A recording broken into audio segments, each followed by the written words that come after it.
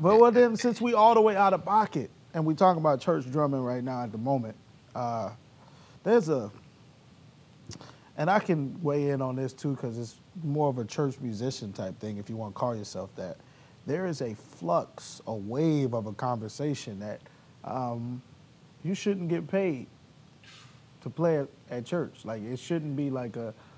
Um, you, you can't. You're not supposed to be pimping the church out the money. I got a lot to say about Man, I, that's you see. That's, That's why on my I'm. ticket. Those that's why I asked the Those That's question. on my for you page. those every are day. fighting words. I've, I've been noticing it too. Yeah, I've been seeing it. They are fighting words. Th- those, yeah. Cause some say, you know, they don't do it for a check, uh, and and um, I'm gonna put my opinion out there real quick, and I'll let you guys. But I, you know, the funny thing about it is most of the people that I've been seeing, and there's no shot to them, but saying I don't play at church for a check. I'm not gonna pimp the church out of a check. They're young without responsibilities. Uh, Right. they, they don't. I mean. Um, Comcast, We Energies, Mhm. AT&T, gas, car Mhm. payments, mortgage.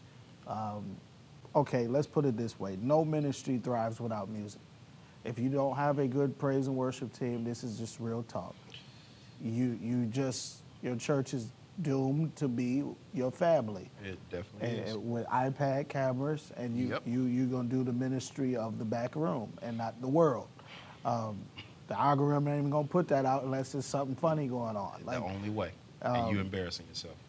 Hundred percent. So I mean, you, we know that music plays a big part on membership in churches. Um, so yeah, I'm gonna open up the floor. Should a musician be getting paid to play at church? Larry, yeah, it's best to call because I'm like, oh, I, I, I might have to wait my turn.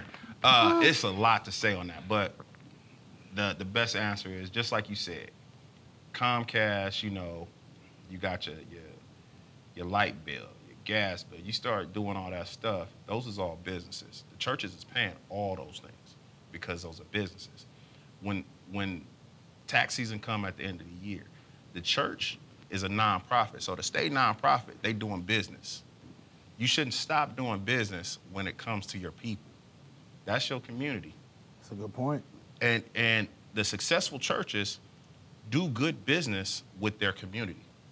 The unsuccessful churches don't do good business Oh yeah, with their community. they don't know the mayor's last names. Uh, that's that's to your point, devil's advocate. One more time. Oh. Uh, you don't have a job No. because that's what they that's what they say. They say. They no you you, You you, you piggyback off this one. well go ahead, Right. Mister Two Hash Browns. Man, th- it- and the saddest thing, that's a horrible question to ask. It's like it's not your business if I have a job or not. Talk if that I'm talk doing if. I'm doing a service for you, that's all you need to worry about. Do the service. It's just like when they go and do service, and and I mean I say it, pastors be the main ones. Like they be the main ones. Oh, I don't pay. Well, you get paid when you do your service. So be a good businessman, steward, whatever you want to say. We ain't gonna get into that because yeah, you start throwing them, them scriptures right back at them. They act like, whoa, yeah, I read my Bible just like you do. Don't think I'm no fool. But when I start throwing it back at you, you looking at me like, yeah, just because I don't, just because we look a certain way, don't mean we don't know our word. That's one thing. That's a word in and of itself. man. And then it's just like, yo, you got to be a good steward, man. You stewarding these people, you got to be good with them. You Yeah. got to build that relationship, and you shouldn't, you shouldn't try to get over on them. Yeah, you're right. This Let man me say about to this. to Jump be off done- seat. Let me say this. He- I don't know if the camera caught him. He, while you talking, he's sitting here. Double Oh, dutch me. oh. Let me jump in. Let me jump I've, in. I've been, Come on, Westbrook. I've been through it. I've been, I've been through it. You Hold on, your mic okay? Let, let uh, him get just, his just a mic. box, just a box. It's it's called a transmitter. Whatever, whatever. Let me play devil's advocate for a second. Man, Um, cause you're right, it do be it, it be the pastors that that they they they put that narrative out there most of the time. Most of the time. In my experience, when you know, I mean, you, the ones I've worked with, man. they pretty much just quoting the scripture with the mic in their hand. I can have that audio do that on the Bible app. Man. and be good at home. You getting paid Be okay. to do something I can do at home, at home.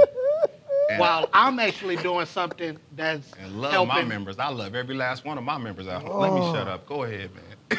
That man said he could just download the, the story on the Bible app and press play.